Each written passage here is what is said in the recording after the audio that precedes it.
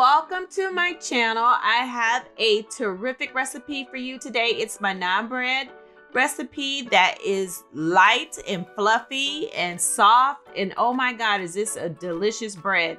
I will have all your ingredients listed below. So without further ado, let's get started.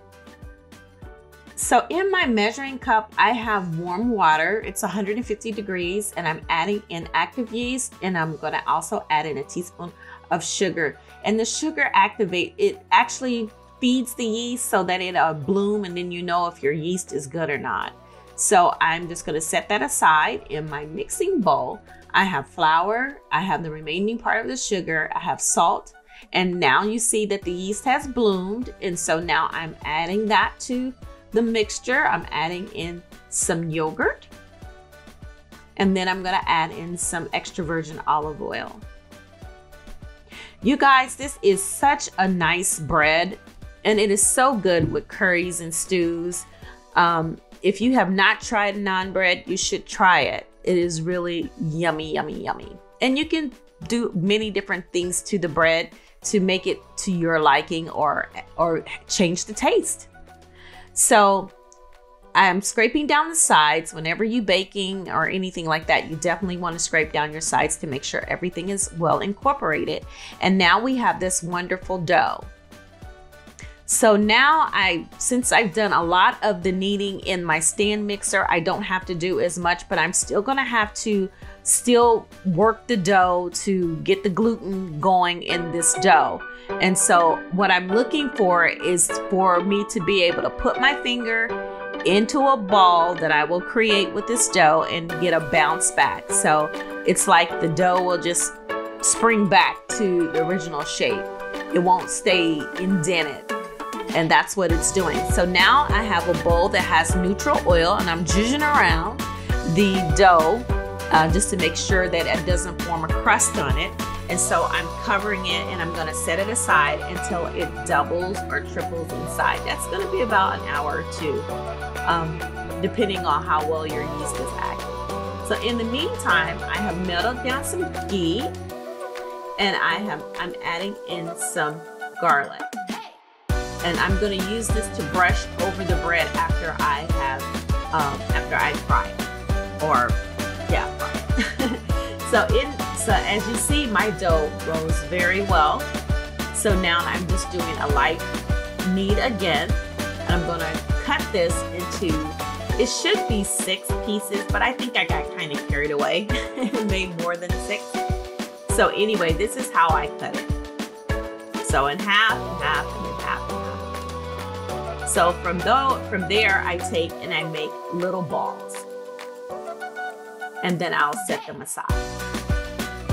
Now you want to cover the balls after you create all of them, which you'll see I'll have a towel over to the side because I don't want them to dry out before I finish rolling them out. So here we go. So now I have I have rolled it out and I have that cilantro that I had cut up earlier that you seen. And so I'm adding it into the bread. Now you do not have to add that in your in your bread. You can have it plain. You can put other different things in there um, to make the bread to your liking. So I wanted cilantro and uh, garlic. And I'm also going to use some cumin seeds as well. And I'll show you the, that as well. So I'm just giving you a, what you want to do is roll them into an oblong shape and you you definitely have to use a lot of flour to because it stretches a lot. So next, you know, I, I'm not going to show you me rolling out all of these because, you know, I try to keep the videos to five minutes.